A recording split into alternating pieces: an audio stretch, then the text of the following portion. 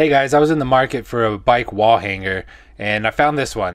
The bike wall hanger comes with extra soft foam padding which protects the bike paint from scratches and it's foldable so super convenient.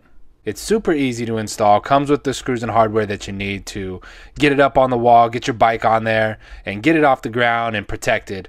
Um, really enjoy this.